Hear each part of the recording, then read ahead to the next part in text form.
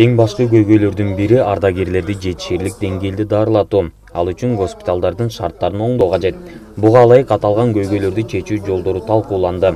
Мындан тышкары ден соолугуна мүмкүнчүлүгү чектелген ардагерлердин муктаждыктыгын чечүү маселеси да каралды. Организацияга өзүбүздүн активдүү бир иштерибизди кылып келе жатабыз. Ошону кандай иштер аткарылды бүгүнкү күндө?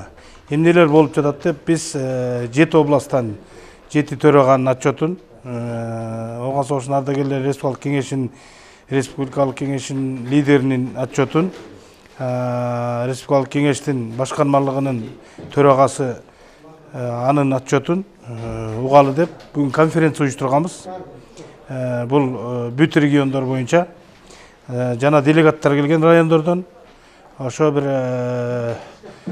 тегерек стол кылып биз өзүбүздүн конференцияны бүгүн өткөрүп жатабыз жыйындын жүрүшүндө кеңешменин жаңы түзүлгөн сайты жарык көрүп буга чейинки жасалган иш аракеттер туурасында маалымат берилип келечектеги жасалчу иштердин планы тааныштырылды эң эле көйгөйлүү маселелер болуп каралган өзүбүздүн арабыздагы социалдык жактан коргоо ветерандарды жана медициналык жактан коргоо боюнча абдан көп маселелер көтөрүлдү.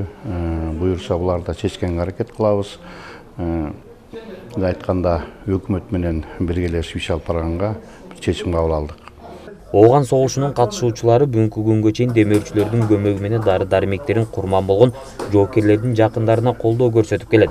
Ошону менен өлкөдө болуп жаткан саясий кырдаал учурунда элдин ынтымагы үчүн бир топ үлгүлүү иштерди аткарышкан